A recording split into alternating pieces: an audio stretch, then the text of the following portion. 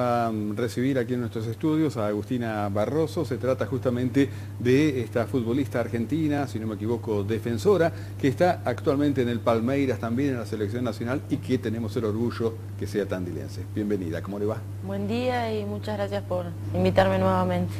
Bueno, me imagino que te habrán dejado venir a pasar las fiestas. Contanos un poco cómo, cómo fueron estos entretelones para que puedas venir a Tandil estos días. La temporada ya terminó, así que nada, lo primero que hago es pedir el, día de vuelta. Eh, pasé todo el año afuera, no los había visto hace un año, así que estaba esperando ese momento. Y debe haber sido, digamos, intenso cómo fue el tema de la, de la pandemia. Ya habíamos charlado en algún momento por teléfono de, estas cuestiones que, bueno, eh, lo viviste entrenando en tu casa, fue, fue una cosa, por lo menos los primeros meses, bastante, bastante difíciles, ¿no?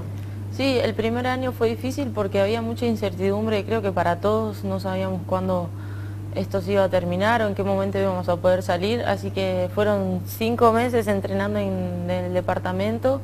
Eh, y bueno, este año fue todo mucho más normal, lo que sí tenemos protocolos de seguridad y de higiene y los PCR que nos los hacemos cada vez que tenemos partidos, así que ya debo llevar unos 50 PCR. 50 PCR, Más o menos. 50 hisopados ya debes tener Más o menos, la nariz. ya está acostumbrada. Está acostumbrada eh, paralelamente la actividad de la selección nacional, bueno, han tenido actividad en este último tiempo, ¿qué es lo que están haciendo? Eh, el año pasado estuvo medio cortado porque con el tema de los viajes que no se podía eh, llevar a cabo, no pude participar de la selección. Este año sí, fue un año bastante positivo, hay recambios, nuevo entrenador, caras nuevas de las chicas, así que fue un año muy eh, positivo y el año que viene está la Copa América, así que apuntamos a eso.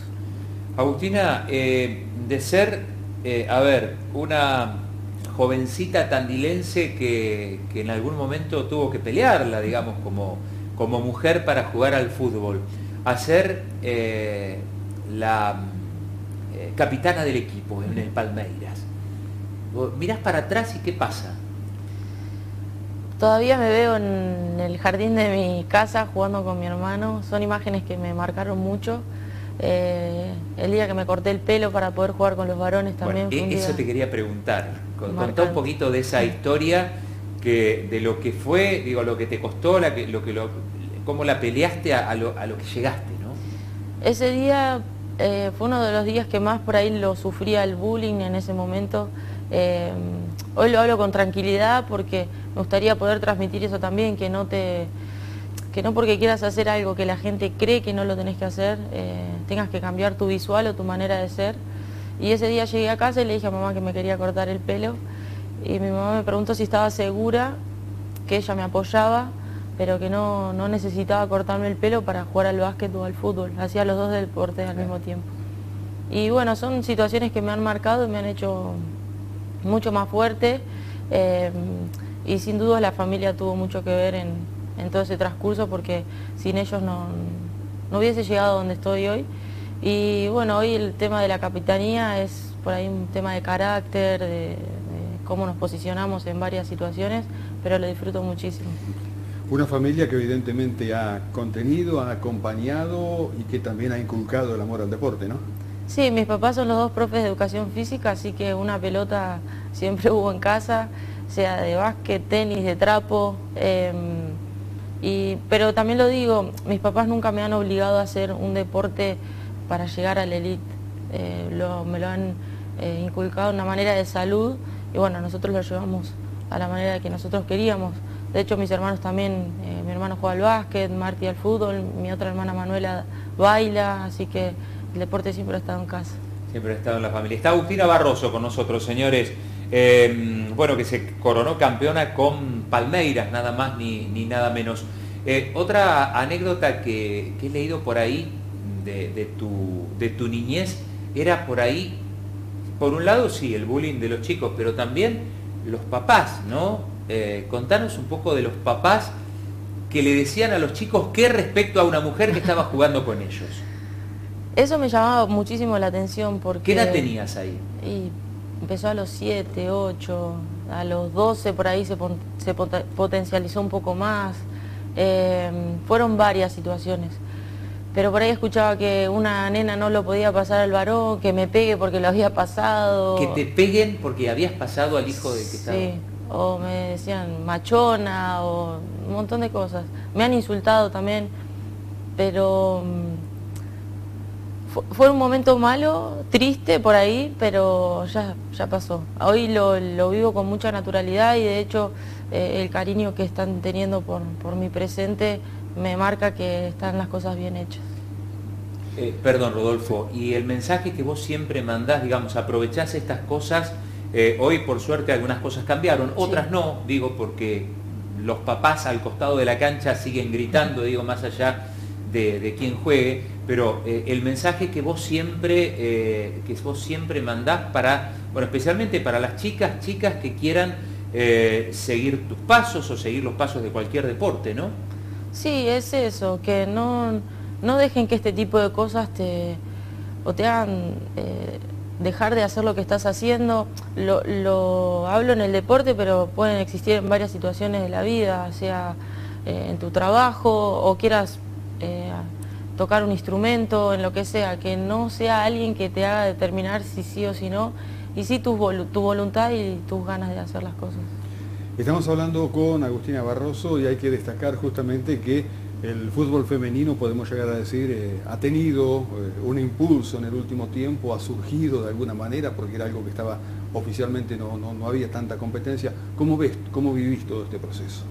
Tandil me llama muchísimo la atención porque la cantidad de torneos y chicas que, están jugando al fútbol es, es increíble y está bueno porque nosotras no tuvimos esa oportunidad.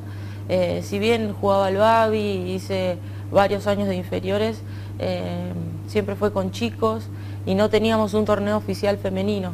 Hoy las chicas tienen esa posibilidad, está buenísimo y creo que lo que pasó después del Mundial fue un, año marcante para el fútbol femenino. Agustina Barroso está con nosotros. Bueno, ¿y llegar a ser campeona con el Palmeiras? Eh, habíamos perdido la final del Brasilero y nos había quedado un gusto medio amargo y bueno, pudimos levantar la Copa Paulista, así que fue una sensación muy linda. Verte, verte la foto con, la Copa realmente es, es impresionante, ¿no? Lo que debe haber sido para tu familia acá, cómo lo, cómo lo vivieron, cómo, y, cómo se iban contactando, y es obviamente mucho más fácil, pero cómo lo vivió la familia, cómo, lo, cómo sentiste vos que lo vivió la familia. Termino de jugar, me baño y siempre agarro el celu y tengo un montón de mensajes de la familia, eh, me siguen en todos los partidos, hoy la tecnología ayuda muchísimo eh, y la posibilidad de que pasen los partidos del fútbol femenino también ayuda y hace que me puedan acompañar. Así que nada, mis alegrías son las de ellos también y mm, nada, me encanta porque eh, cuando pasan estas cosas los llamo y ya están ahí pendientes del celu, esperando eh, el festejo juntos. Y después de este campeonato vino bueno, una distinción dentro de lo que es el fútbol brasileño, justamente la distinción como la estamos viendo, una de las mejores defensoras, ¿no? Sí, la bola de plata no me la esperaba. Fue el primer año que se hizo este tipo de, premiación en el femenino, se hacía en el masculino y este año se incorporó para el fútbol femenino, así que nada, fue para mí increíble porque también pude quedar en la historia de, de un país tan grande como Brasil. Eh, contanos, eh, decís que es el primer año que se hace para mujeres, se viene haciendo eh, para, para, hombres, pero fuiste, ¿qué está? La, mm, bola de oro, la de plata? Normalmente se hacía solo la bola de oro para el femenino. Ajá. Y este año se incorporó que sea bola de plata para todas las posiciones. El año pasado se hacía para una jugadora nada más. Este año es bola de plata para la arquera, centrales, laterales. Eh, y en el masculino ya se hacía. Em, pero estuvo buenísimo, me encantó. la mejor defensora de Brasil. Sí. Qué bueno. Así, no, impresionante. impresionante. Eh, ¿Te quedas un ratito más con nosotros? Claro. ¿Sí? Está Agustina Barroso con nosotros charlando, eh, futbolista de, bueno, ya está en la historia del fútbol brasilero, del fútbol argentino y del fútbol mundial, señores. Exactamente, un orgullo es de Tandil y bueno, muchos eh, evidentemente la están conociendo a partir justamente de una carrera que evidentemente va creciendo día a día. ¿no? De eso vamos a hablar eh, en el próximo bloque también. Varios mensajes para Agustina, Agustina Barroso, con quien estamos compartiendo justamente el desayuno del día de hoy. Felicitaciones para Agustina, porque a pesar de lo difícil que fue llegar hasta donde está ahora, siguió con sus convicciones. Mi hija también juega al fútbol en torneos locales de fútbol 5, de fútbol 8. Salieron campeonas acá, en Mar del Plata, en Lobos. Ganaron la Copa Campeones de Campeones. Bueno, dice Sandra en el mensaje y saluda justamente a Agustina. Bueno, aquí el padre Andrés de la parroquia Nuestra Señora del Carmen saluda, dice, hola, saludos a todos y en especial a Agustina, un re lindo ejemplo de superación, soy amante del fútbol y de boca, dice, dice el padre Andrés. Eh, y tengo otro de Mario Marcusi, dice, gran jugadora de básquet, Agustina, saludos, dice Mario Marcusi, que es un, especialista en básquet. Un genio. ¿Eh? Gracias y muchas gracias a todos por los mensajes. Bueno, ahora vamos a leer algunos, algunos más. Comentábamos aquí fuera del micrófono el básquetbol, bueno, vinculada a través de tu papá. Sí, en casa se, respira mucho básquet. Eh, mi hermano es jugador, sigue jugando. Mi papá siempre fue entrenador. Y nada, donde iba mi hermano yo iba, eh, pobre. Pero siempre hicimos, porque no podía respirar, a veces estaba con los amigos y yo estaba ahí metida en el medio. Pero nada, el hecho de haber hecho deportes con, varones también me, ayudó mucho a desarrollar eh, el deporte de hoy. Correcto. Eh, comentaba Claudio en el bloque anterior lo que tiene que ver con el futuro. Bueno, básicamente, ¿cuál es el futuro de la jugadora? Renové por dos años. Hace unas semanas anuncié que había renovado con el Palmeiras. Eh, tengo cláusula de salida, pero mi cabeza está en poder ganar algo con el Palmeiras este año. Tenemos Copa Libertadores también, así que está la Copa América con la selección, Copa Libertadores con, el Palmeiras, así que va a ser un año muy completo. Bien, eh, hablábamos en la pausa de, su paso por Europa también. Eh, con, tan corta edad, yo viste que a, las mujeres no, no, siempre le preguntas la edad, pero yo me animo 28. 28. Con 28 años recorriste eh, dos equipos en Europa. Sí, Five Ladies en Inglaterra y Madrid en, España. Bien, y bueno, y, el Palmeiras en Brasil. Y el Palmeiras eh, ¿Y cómo ves tu futuro? Digo, ahora estás concentrada en, Palmeiras y, lo que hay para jugar este año, pero ¿cómo ves tu futuro? ¿O a dónde lo ves? Eh, le decía al señor, quería, quiero revancha en España o en Europa. Fue un año muy positivo allá, pero no tuve la cantidad de minutos que yo deseaba eh, o no fue de la manera que yo pensaba, así que sí quiero volver. Y si no se me da, eh, hacer lo mejor posible en lo que me resta de, la carrera. Mucha gente dice que voy a jugar hasta los 38, pero es mucho tiempo. Eh, y me veo muy involucrada al fútbol eh, en sí, no sé en cuál área, tengo que terminar la carrera de kinesiología, la dejé en cuarto año, me queda un año y medio, em, pero veo también que faltan tantas cosas en el fútbol femenino que me gustaría estar involucrada en parte de, administración o siendo parte de un cuerpo técnico. Muy interesante eso. muy interesante. Habiendo recorrido justamente distintos eh, lugares, básicamente cómo estamos en Argentina en relación al fútbol femenino, cuáles son las cosas que podemos llegar a incorporar, cuáles serían los defectos que se pueden llegar a evitar dentro del fútbol argentino a nivel femenino. Argentina igual tuvo un crecimiento enorme, el hecho de que todos los fines de semana se pueda ver un partido de fútbol femenino es un crecimiento bárbaro, eh, cosa que antes no pasaba. De hecho, cuando yo jugué en la UAI, eh, mis papás no, me podían ver por la tele.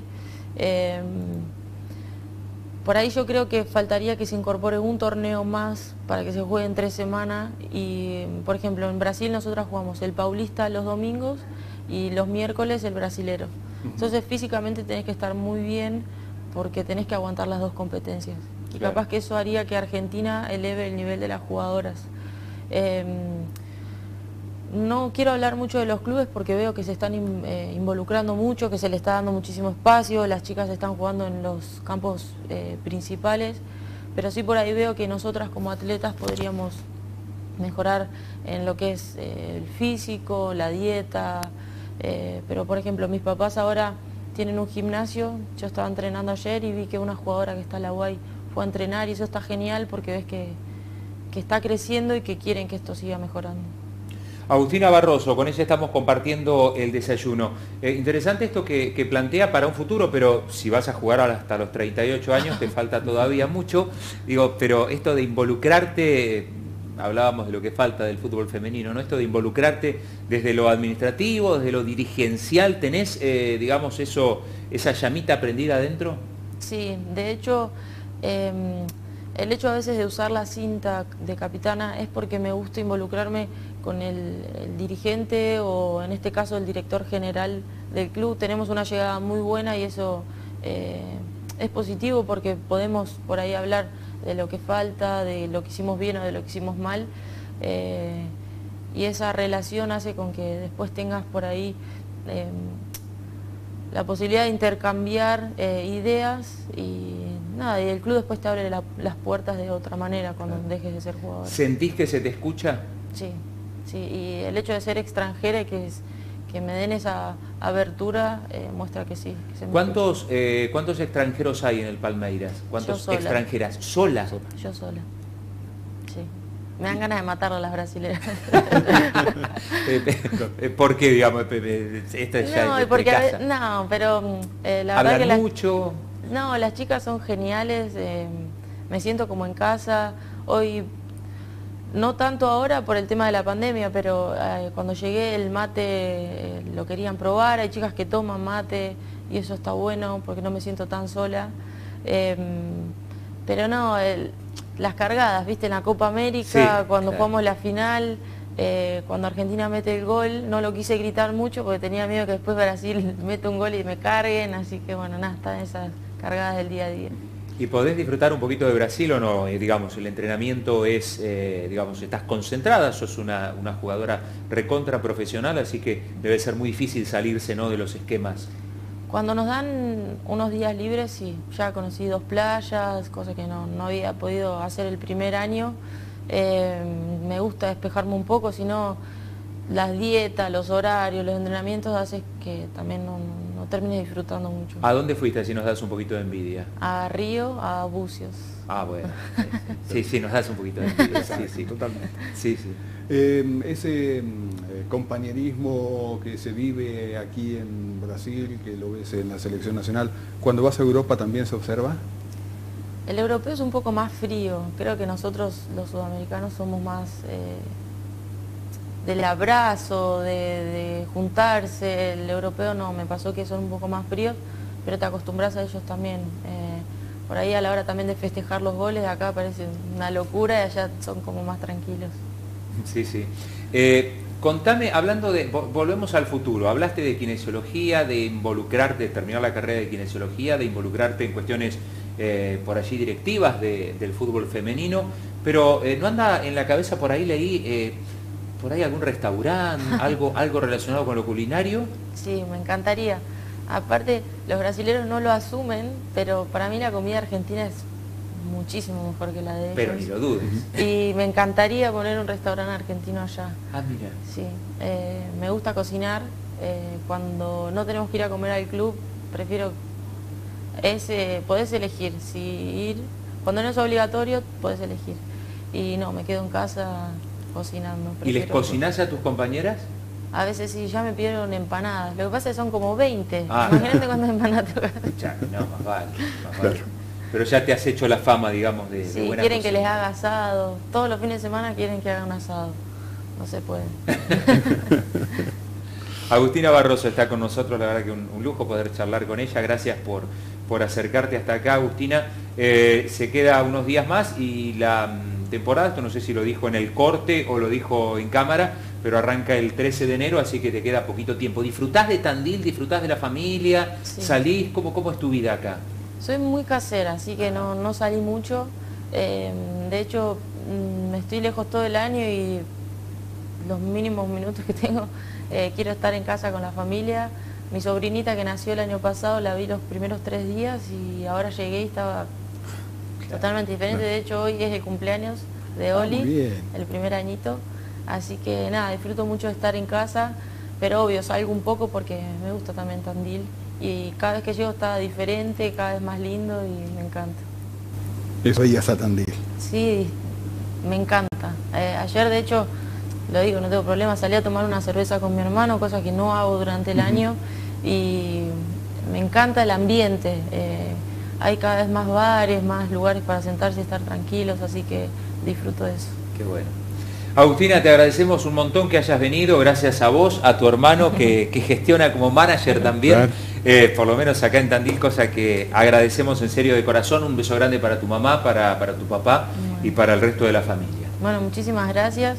Un beso a mamá y a papá que lo estaban viendo ahora. Y gracias a ustedes por haberme dado este espacio nuevamente para poder contar un poco de mi historia. Por favor. Eh, y un beso a toda la gente del gimnasio. No sé si estará el televisor puesto en el gimnasio o no. Sí. ¿Sí? Pero un beso grande para toda la gente del gimnasio. Me quedó una duda. ¿Cuál es el gimnasio? ADN. Está en Arana 1469. Ah, ya le hice propaganda. 1469. Ahí está, de Arana. ¿eh? Va gente muy querida, entre otras, la que yo mencionaba, nuestra amiga Marínez Massa. Exactamente, sí, ¿Eh? señor. Gracias, Agus. Muchas gracias. Muy amable. Agustina Barroso charlando con nosotros, señores, en el desayuno. Qué lujo que nos hemos dado. La verdad que un verdadero placer.